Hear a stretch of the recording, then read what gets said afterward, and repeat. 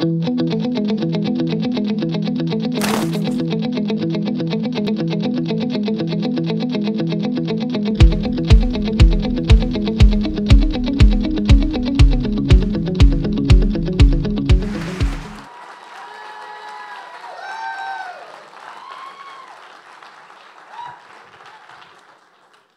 see that big happy guy back there?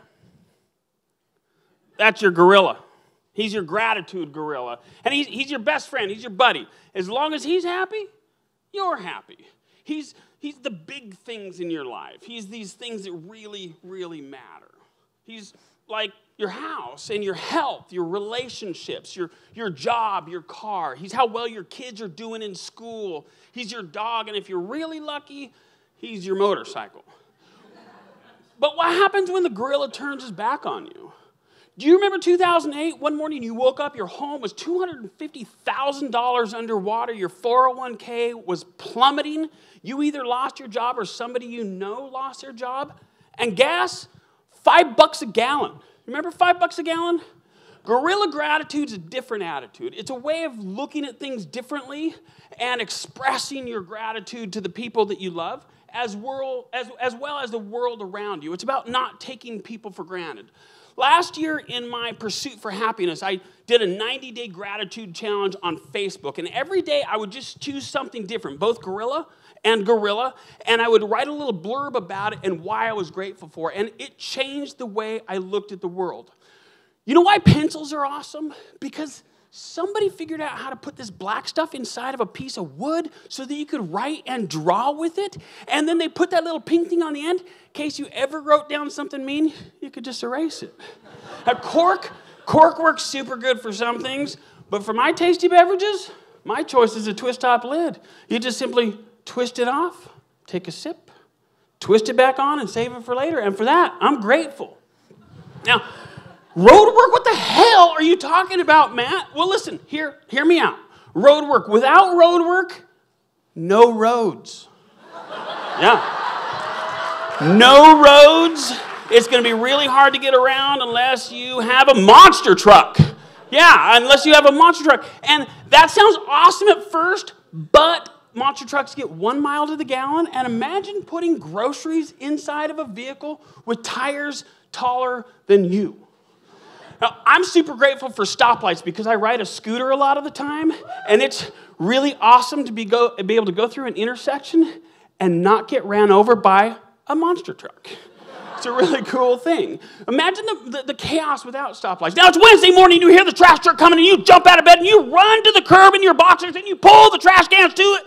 You narrowly avoid disaster and you get there in the nick of time. Well, imagine the disaster if the trash truck never came. Now, I'm a fellow that likes to keep my nails trimmed and beautiful for my lady. This, this simple little device makes it really easy to do that. And as a bonus, my pretty lady, she ties that red ribbon around it so that it's easy to find. Now, why would I be grateful for trash on the beach? Because it's an opportunity. I'm gonna tell you a story. My dog Poncho and I were walking on Ocean Beach, this place that I am totally in love with. And we saw some trash, and I saw a bag, and I picked it up and I started putting it in it. And the most interesting thing happened. All of a sudden, I had a bunch of helpers, and every single one of them thanked me for that. And in the end, we left this beautiful place just a little bit more beautiful. Now, the next two slides, or no, expressions of gratitude. This is my favorite part. I love expressing my gratitude, and it's the part that means the most. It's letting people know that we're grateful for them. This, this, I left this note for my wife right after we got married, and it says, Matt and Renee sitting in a tree, K I S S I N G. First comes love, then comes marriage, then comes baby and a, oh wait, not that, then comes a motorcycle. Yeah, we, we have enough kids already. Now, I found this note under the toilet a little while ago. It says, Thank you, honey, for cleaning the toilets. You win the award. Best toilet cleaner. Ladies and gentlemen, I am the best toilet cleaner, and I keep on doing it because she keeps showing gratitude. So these are what I call spot cards. I keep them with me everywhere that I go. They have a quote on the back, and I, I give them to unsuspecting people that give me either good service or a smile. And you know, we run into people every single day that make our lives easier and better. And usually we just let it go, right? We just kind of let it go. But, but why? Why not say, hey, thank you? Hey, I appreciate you. Thank you so much. You can change their day, and in turn, it'll change your day. Can we make the world a better place? Can we make it more beautiful? Can we fall more in love with our partners? Yes. We need more guerrilla fighters for this revolution, folks. Join me.